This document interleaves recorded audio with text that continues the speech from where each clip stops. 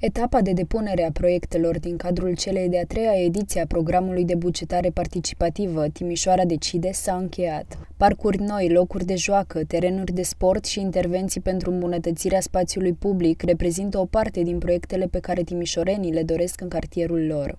În total, 72 de persoane au depus 91 de propuneri care pot crește calitatea vieții în oraș. Totodată, proiectele eligibile vor trece printr-o perioadă de analiză juridică, tehnică și financiară, efectuată de structurile de specialitate ale primăriei. De asemenea, în perioada 15-22 august va avea loc perioada de contestații, urmând ca din data de 23 august să înceapă etapa de votare, care se va încheia în 23 septembrie.